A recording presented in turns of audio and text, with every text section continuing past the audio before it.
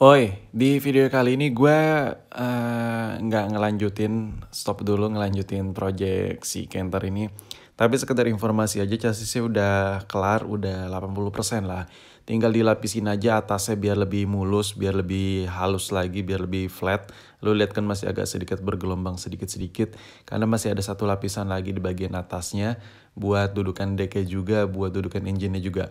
Tapi buat yang belum nonton, cek aja videonya, linknya ada di deskripsi di bawah video ini buat progres si RC Truck Canter. Ada dua part udah gue buat. Oke, jadi di video ini gue pengen ngejelasin kenapa sih truk gue pada hancur-hancur semua, pada nggak beres semua, pada nggak jelas semua. Truk gue bermasalah semua Kenapa gue bikinin konten ini? Ya karena banyak juga yang komen bang, kenapa sih truk lu pada rusak semua? Gak jelas nih channel truknya pada rusak semua dan ini kenapa ada truknya pada bermasalah semua? Pokoknya banyak lah yang nanya seperti itu. Tapi sebelumnya nih gue kasih lihat nih. Ini video bukan video luar negeri cuy. lu bisa lihat nih ABC kacang kacang hijau lagi gue pegang. Ini ada di dalam video in frame. Gue bukan ngambil video dari orang luar. Jadi ya gue notice sekali lagi lah. Ag agak geli sih gue baca komennya tapi ya gitulah namanya juga orang baru mampir kali ya. Dan nih nih nih nih gue gue yakinin lagi dah tadi ABC kacang hijau kan. Barang yang lebih banyak beredar di warung-warung nih. Apalagi kalau bukan bentar-bentar gue gue lagi ambil nih. Ini paling the best dan lu bisa lihat yang gue ambil apaan. Ntar ada di bawah soalnya agak susah gue ngambil ya ini gue sekedar kasih tau ke lu aja. Teh pucuk. lu bayangin nih teh pucuk. Kalau memang video gue ngembat dari video luar nih gue towel-towel nih truk gue. Kan nggak hanya satu orang sih sebenarnya uh, mungkin bisa dihitung mungkin hampir 10 orang sebenarnya kalau dikumpulin lebih bahkan kayaknya gue lupa juga itu kalau dikumpulin pada bilang nyomot video orang bro. Ambil video orang. Gue sekedar kasih tahu aja sih ya. Tapi gue nggak masalahin juga. Namanya juga hak hak lu buat nilai sesuatu yang lagi lu lihat. Oke jadi kita balik lagi ke inti video yang lagi gue buat. Kenapa sih truk-truk ya ada di channel ini rusak semua? Sebenarnya basically-nya itu nggak rusak men. Maksudnya truk-truk yang lu lihat itu sebenarnya awalnya waras. Tapi memang sengaja gue bikin rusak antara sengaja dan nggak sengaja lah. Pertama sengaja gue bikin rusak itu kayak misalnya kayak gue lagi siksa RC truk gue bawa beban yang berlebih, tahu-tahu ada yang patah, ada yang copot atau asiden, kecelakaan gitu terbalik, jungkir balik dan lain-lain. Itu yang pertama ya karena karena memang gue sengaja siksa dan memang tujuannya pengen gue rusakin biar nextnya bisa jadi konten. Terus uh, alasan kedua ini yang kedua kenapa truk gue bermasalah atau rusak uh, apa unit-unit truk yang lu lihat sini kayak bermasalah semua gak ada yang beres. Alasan kedua adalah gue masih belajar cuy. Gue bukan ahlinya di bidang per truk-trukan. Mungkin kalau lu mampir ke channel ini, wah ini nggak jelas yang di upload truk-truk semua.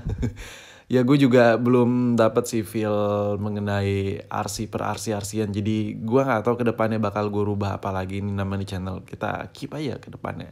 Kita pantengin aja ke depannya kayak gimana nanti.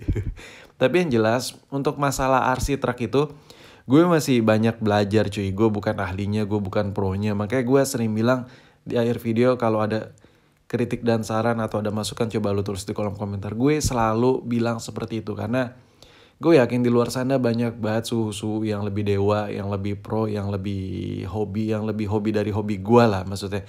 Lebih paham mengenai apa yang lagi gue rakit kah, apa yang lagi gue garap kah. Jadinya ya gitu, jadi ini alasan kedua kenapa truk gue pada nggak beres semua. Jadi truknya awalnya beres, terus gue modifikasi dan belum kelar-kelar, makanya truknya kayak setengah jadi gitu karena gue masih banyak yang harus gue pelajari nah seperti ini yang lo lihat ini ini miniatur truck ini ini udah jadi cuy. Udah jadi awalnya udah jadi kan.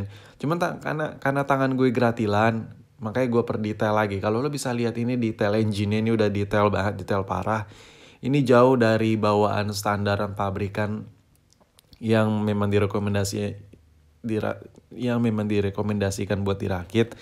Tapi karena memang berhubung gue gratilan akhirnya gue modif ulang gue bongkar lagi dan karena waktu gue memang yang gak cukup, ya kan, waktu gue juga gak hanya buat di channel gabut ini. Oh ya buat lu sekedar informasi aja, ini channel kedua gue dari channel Watch Watch. Ini memang channel gabut, jadi apa yang lu lihat sini memang lebih kegabutan gue aja terhadap hobi tertentu. Dan asal lu tahu aja, gue tuh tipe-tipe orang yang gak setia, makanya pasangan hidup gue tuh banyak, pacar gue banyak, mantan gue banyak. Termasuk juga hobi. Hobi gue gak hanya satu, kadang gue hobi motoran, hobi bongkar mesin, mesin mobil, mesin motor, hobi ngoprek handphone, terus sekarang gue lagi hobi RC. Makanya kalau ke depannya gue nggak ya nggak jamin channel ini bakal keep upload truk terus. Ya, ya, ya nanti ada ada lah kalau ada perubahan gue infoin ke lo. Nah ini yang kedua. Kalau tadi dari segi miniatur truk kan uh, hancur, uh, pokoknya nggak nggak jadi lah ya. Kalau ini yang kedua, untuk yang kedua ini lu bisa lihat RC Truck Arox, lu bisa uh, Mercedes Benz yang warna biru ini ini gue beli dalam keadaan normal, gue beli baru bukan beli second. Ini awalnya basically ini truk nggak ada kerusakan sama sekali, pokoknya plong lah ya, uh, siap jalan gitu. RTR juga, ready to run juga, dan ini bukan spek Propo by the way. Dan berhubung karena tangan gue gratilan sama kayak miniatur truk tadi, gue tuh pengennya out of the box, uh, nggak nggak gue nggak suka ngikutin standaran, gue suka modif-modifan. Makanya ini RC Truck ini gue modif, gue modifikasi. Tadinya rencananya itu pengen gue garap jadi Propo yang tadinya nggak pakai servo, yang throttle-nya nggak ada tingkatan percepatan. Semua pengen gue modifikasi. Dan termasuk bagian tampilannya juga pengen gue modifikasi. Nah tapi alhasil yang gue bisa realisi realisasikan baru sepintas dari penampilannya aja ya jauh lebih looks real gitu cuy. Tapi sebenarnya dibilang looks looks real juga enggak. Kenapa? Karena bagian chassisnya kalau lu lihat tadi itu belum pakai chassis frame. Ya kalau bisa dilihat semi-semi leather frame gitulah. Jadi berhubung karena waktunya juga terbatas karena skill gue juga terbatas. Jadi truk Mercedes-Benz yang satu ini jadi nganggur dan alhasil uh, finalnya masih seperti ini belum gua update apa pun. Hmm, sekedar informasi aja ini bermasalah di bagian gearboxnya. Jadi dia kalau lagi tanjakan bawa beban suka ngelos ya. Dan sampai sekarang belum kegarap lagi sama gue. Ada beberapa hmm, kendala pertama memang gue masih belum dapat desain yang bagus seperti apa dan waktu gue juga belum cocok dan I, I, alhasil tuh truk belum gue garap-garap juga. Dan ini yang kedua ini yang kedua ini dari segi RC ya. Yang ketiga RC juga. Dan tara tata tata tata Hino. Hino Ranger atau biasa lo panggil Hino 500 ini kenapa truk bermasalah alias sampai saat ini kondisinya seperti ini apa ya mungkin buat lu yang udah lama mantengin channel ini atau selalu hampir nonton di setiap gue upload lu udah paham lah ya. Gue pernah bilang bahwa ini kan basic miniatur cuy dan truk ini gue modif jadi RC kan. Dari miniatur gue convert jadi RC dan memang benar berhasil. Dan udah gue siksa-siksa juga buat nanjak terus gue buat jalanin di outdoor terus gue on the track di apa jalur ala-ala situ nyolawik buatan gue Pokoknya udah banyak lah stories ini dan ini adalah salah satu truk pertama gue di channel ini asal lu tahu aja buat yang baru mampir di channel ini. Ini truk pertama gue men dan karena berhubung udah gue modifikasi terus gardannya ini sempat dua kali apa tiga kali jebol karena bawa beban berlebih. Dan ya karena waktu dan pola pikir gue memang skill gue yang belum dewa juga menghambat project ini lo bisa lihat sini ini jaring laba-labanya banyak banget cuy. ini bukti bahwa truk ini nggak gue papain alias sudah gue anggurin gitu aja. Entah dari kapan tahu.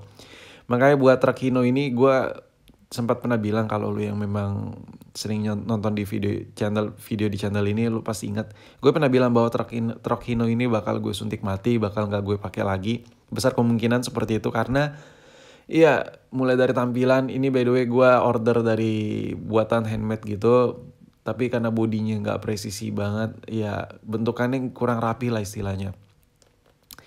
Jadi gue kurang greget banget buat ngegarap truk Hino ini lagi. Makanya seperti yang lu lihat alhasil kondisi Hinonya sekarang posisinya seperti ini. Gardennya lepas dan sisa sambungan ban belakangnya aja mesinnya juga udah lepas. Terus perintilan-perintilan lainnya udah lepas. Dan sekarang kondisi truk Hinonya seperti ini.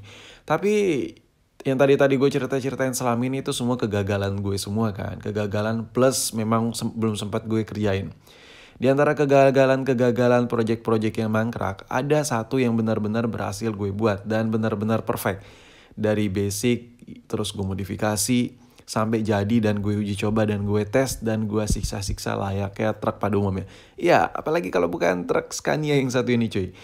Dan tadi dari tadi lu lihat kan ini truk inilah salah satu track yang berhasil gue garap. Nih, di channel ini baru satu aja. Ya, ya maklumin lah ya. Soalnya gue banyak belajar, men. Gue harus belajar juga. Gue bukan orang yang benar-benar apa ya bukan orang yang benar-benar banyak waktu buat di satu channel ini aja jadinya step by step lah bertahap dan tampilan ini gue rubah terus pokoknya banyak lah gue rubah dari tadi lu lihat kegagalan-kegagalan nah kalau ini bukti keberhasilan gue ngerakit satu truk sampai jadi seperti ini. Ini full modifikasi ala-ala tangan gue sendiri. Mulai dari tampilan terus engine-nya. Sekedar informasi aja buat lo ini engine-nya udah gue rubah total ini gue ganti gear udah serba metal semua. Jadi buat nanjak-nanjak sikat habis. Pokoknya bisa disikat semua ini torsi maksimal 3 Newton meter. Gila nggak cuy? Dengan torsi 3 Newton meter apa belah bisa diseret sama si RC truck yang satu ini cuy? Ini di luar nalar karena basic Tamiya scale 1 banding 14 itu ogah-ogahan buat ngangkut beban lebih dari 10 kilo. Dan mungkin buat lo yang penasaran dan belum lihat actionnya truk ini kayak gimana gue kasih lihat deh cuplikannya di mana truk ini gue siksa habis-habisan. Dan ya mungkin sekian aja video gue mengenai video kegagalan gue dari gagal gagal gagal gagal dan ada berhasil lah satu biji yang satu ini cuy